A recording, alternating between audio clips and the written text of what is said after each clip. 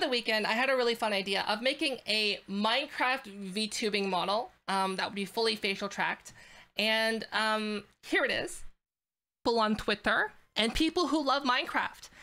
This is a Minecraft VTubing model that I made that is compatible with Minecraft skins. So if you have a Minecraft skin that's based on Minecraft Steve or Minecraft Alex, it'll be fully compatible. You can just pop the texture on and swap it. It'll be easy as that. Isn't that great? Anyways, hope you enjoyed this. See you later. And and let's just say the reception kind of blew me away. So uh let's let's talk about it.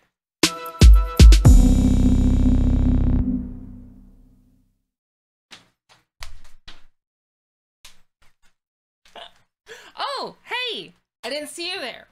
Hi. This is the Minecraft VTubing model. This is going to be available in two different versions. The Slim Arm slash Alex version and the Full Arm or Steve version. One thing to note about these models is I wanted to keep them very true to form to the, a Minecraft style um, model. So there is going to be no elbow movement. So basically it's all upper arm movement and upper leg movement. If you stick to the end of the video, I'm going to show you how you can replace the textures on these models. And if you're interested in buying these models, links are going to be um, in the description somewhere. And what's really great is that they are compatible with regular Minecraft skins. And you don't even need to have high resolution skins. Normal resolution skins will work and it'll make the models look great. Oh, and before any of you ask, is it compatible with two layer skins?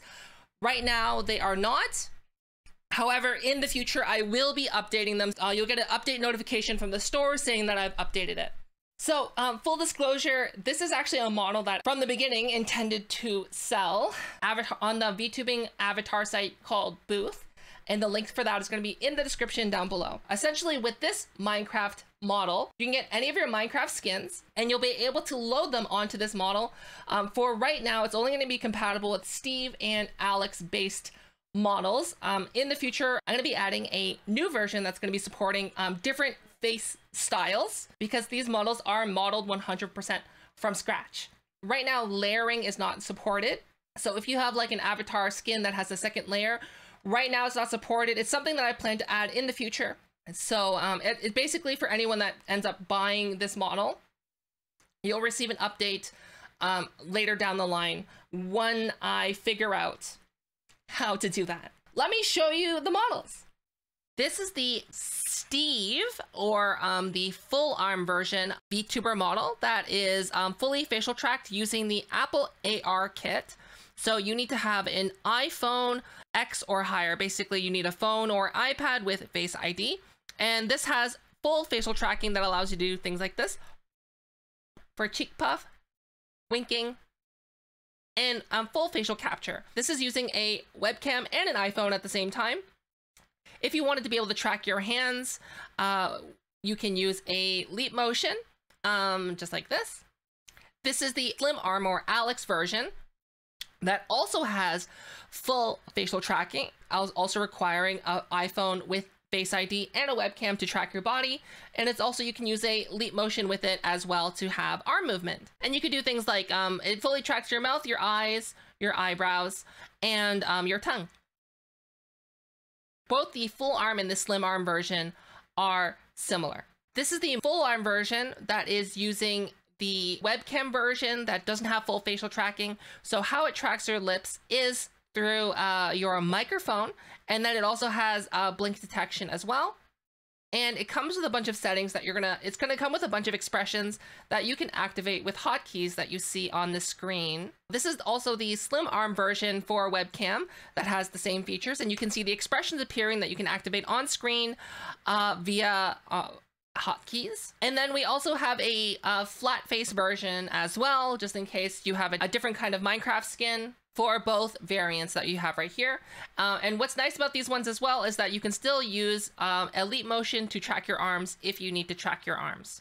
Now that we're near the end of the video, I'm going to show you how to change the skin on the model. The first thing you need to do in order to get started using um, the VTuber model, if you want to just try it out, is uh, you need to get this program right here called VC Face. So the link for that in the description is going to be down below. And once you have VSeeFace open, you'll you'll see a screen just like this, and it's going to bring you through a whole tutorial on how to set it up. Please don't skip that. If you manage to skip it, you can go to the help button and it's going to show you how to do everything once again in order to get your model set up. If you get the Apple AR Kit version that is compatible with all iPhones that have Face ID, so generally 10 and up, or iPad Pros, I have this video that's going to be appearing on the screen that's going to be showing you how you can uh, actually connect your um, Minecraft model to VSeeFace.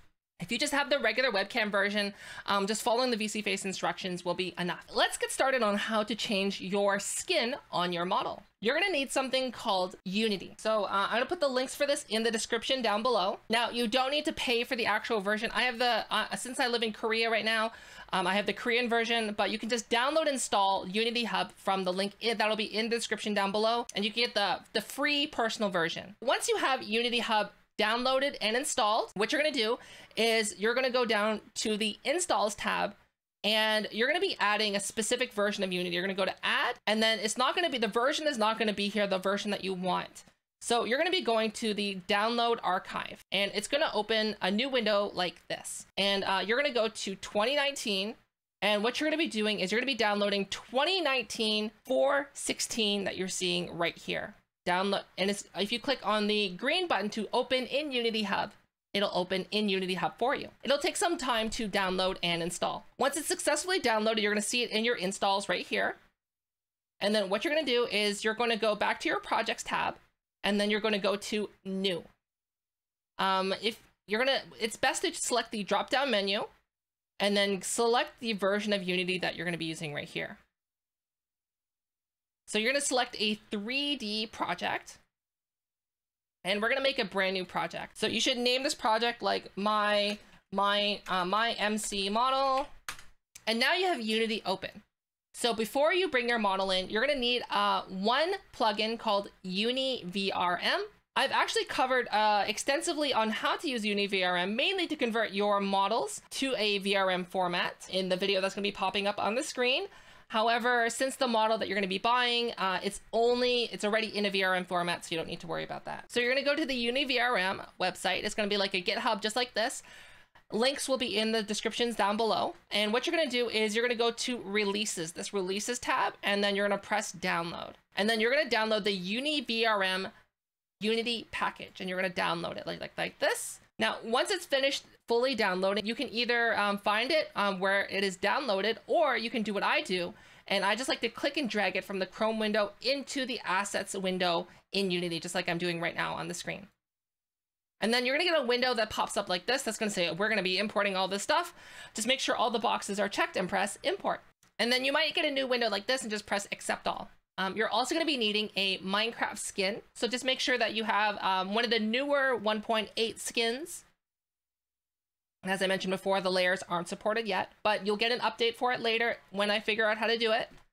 And then you just import your Minecraft skin, just like how I did right here. It's not going to work if you don't have one of the newer layouts for the skins. Next, you're going to need one of the models that you did, that you got from the store. In this case, I'm going to be using um, one of the Alex variants, but I'm to use one of the ones with uh, the, without without the face that we're going to see right here. So you're just going to click and drag that into the assets folder, just like how you imported the Unity package.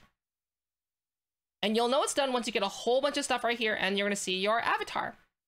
So you can click and drag this into the screen just like this. And then you're going to see in the inspector on this side, uh, you're going to see your transform. You're going to press zero on all X, Y, and Z.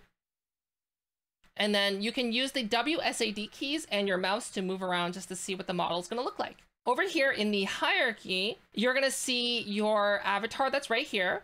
And then you're to see uh, if you click in the drop down menu and you press on the body, uh, you'll have access to the shader that's right here in the inspector. So just click down and expand it. And then here you're to see your texture. So you have two options to do it. One, you can press this, um, the plus sign that's next to it. And you can select your skin from there. or you can click and drag it in there. So you want to make sure that you click and drag it into the lit color alpha and the shade. Once you finish changing your skin, click on the your model in the hierarchy, just like this, and then go to VRM0. And then you're going to export VRM. Here is where you can change your thumbnail or your picture. I'm just going to be keeping this the same. And then uh, you're going to be choosing where you want to export it. Now in VSeeFace, if you want to be adding this avatar, you go to avatar selection, you go to add avatar, and then you locate your avatar, just like this. And your avatar should appear in um, the new, in your avatar selection window like this. And then uh, make sure that you choose your webcam, or if you're using like VR tracking like I am, just press start. And then here is your model that's fully loaded in here. So since we're using the, there's not going to be any face or eye blinking, but you get a fully tracked VTubing model that you can use. And that's how you change the skins on your model. Once again, keep in mind that it has to be a 1.8 later skin or newer.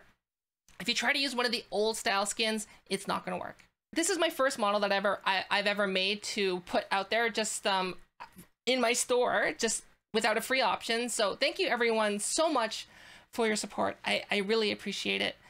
And like I said, all the links for everything is going to be down in the description below.